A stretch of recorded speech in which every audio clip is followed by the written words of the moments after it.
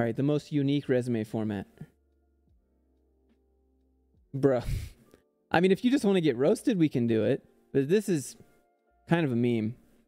It's it's cool, but it's kind of a meme. Let me make sure you don't have your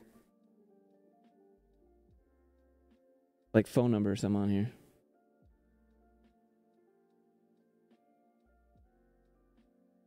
Like it's so hard to read. I don't even know where you'd put your phone number. You guys will get it in a second. I'm sorry, chat. Hold on.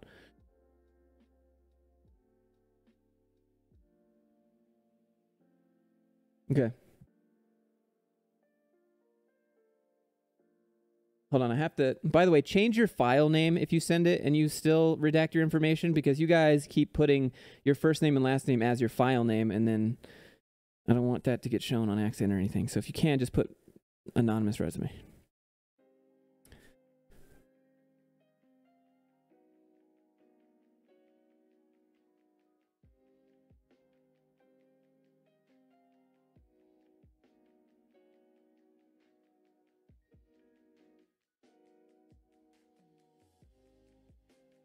All right, I don't know if you guys are ready for this. Um,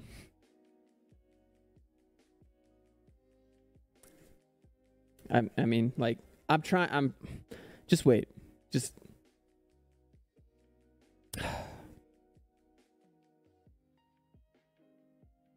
This is not a program. This is not. I.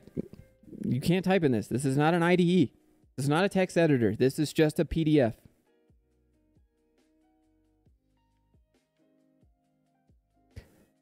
This is difficult.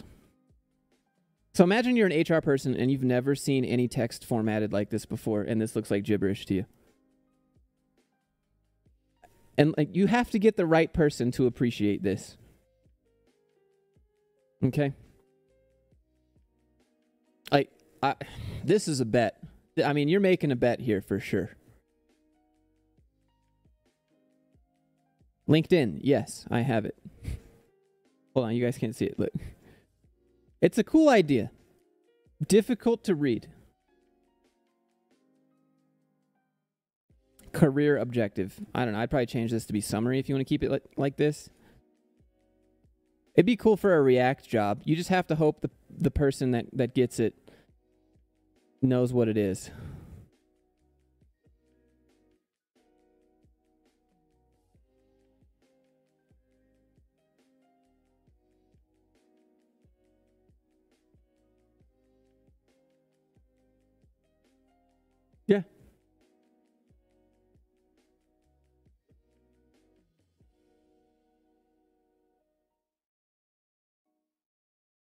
This is kind of hard to read.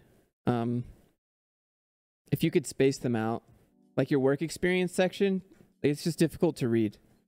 If you had just maybe add some space below here so I can see that we're going to see what you did here. That's all. Just the formatting makes it difficult.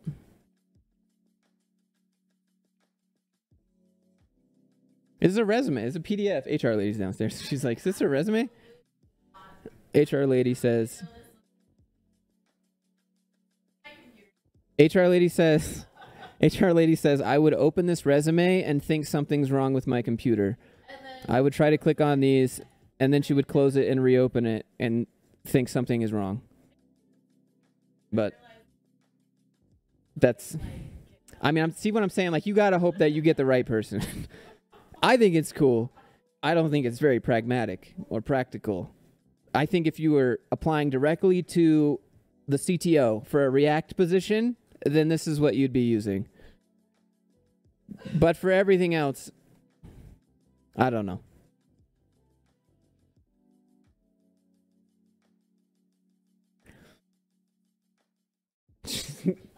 a virus.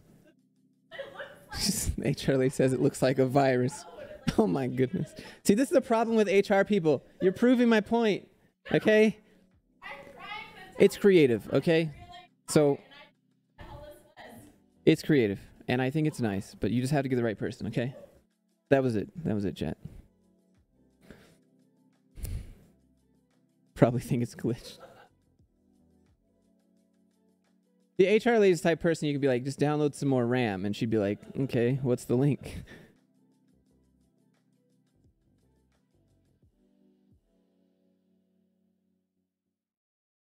Um okay maybe like go look at some of the previous streams and look at some of the formats that were were good. Like the last the last resume of the last stream i believe. Is the second to last maybe but it was really good. So maybe look at that format and then have both right? And then for for for the ones where you're feeling a little bit you're feeling a little bit creative feeling a little bit risky maybe send maybe send this. But otherwise probably just go with you know vanilla Look, see, look, look. We got some dude in the chat right now who's like, "Excuse me, why is uh const skills wrapped?" Uh huh. Imagine if you actually made a coding mistake inside your resume and you submit it, and and the guy's like, "Uh, there's a there's a bug in your resume, bro. If this was actual code, so you better hope this this is on point." And career has a typo. It's just it's uh it's only one E in career. Okay, I'm just kidding. Take out the R. There's only one